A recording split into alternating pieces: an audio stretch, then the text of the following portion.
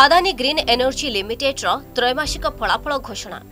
ଏଇଜିଏଲ୍ର ସାମଗ୍ରିକ ଭାବେ renewal portfolio କୋଡ଼ିଏ ହଜାର ଦୁଇଶହ ଚଉରାଅଶୀ ମେଗାୱାଟ୍କୁ ବୃଦ୍ଧି।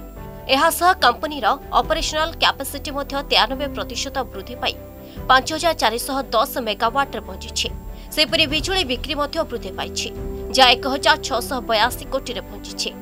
ଏହାସହ କ୍ୟାସ୍ ପ୍ରଫିଟ୍ ପଇଁଚାଳିଶ ପ୍ରତିଶତ ବୃଦ୍ଧି ପାଇ ଆଠଶହ ଅଣଷଠି କୋଟିରେ ପହଞ୍ଚିଛି।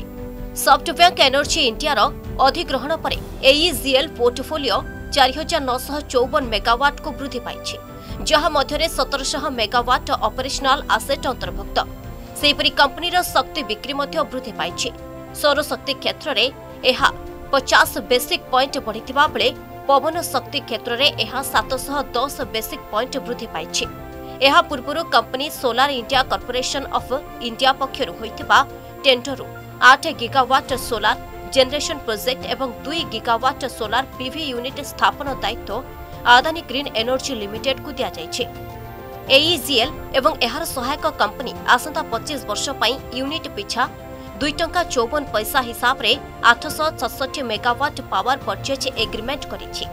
ସେହିପରି ଦୁଇହଜାର ଏକୋଇଶ ଅକ୍ଟୋବରରେ କମ୍ପାନୀକୁ ଚାରିଶହ ପଚାଶ ମେଗାୱାଟ୍ ୱିଣ୍ଡୋ ପ୍ରୋଜେକ୍ଟ ପାଇଁ ସୋଲାର ଇଣ୍ଡିଆ କର୍ପୋରେସନ୍ ପକ୍ଷରୁ ଦାୟିତ୍ୱ ଦିଆଯାଇଛି। ଅକ୍ଷୟ ଶକ୍ତି କ୍ଷେତ୍ରରେ ଥିବା ବିଶ୍ୱ ସଂଗଠନର ପ୍ରତିଷ୍ଠାତା ସଦସ୍ୟ ରହିଛି। Adani green energy limited. Bureau report Argus news.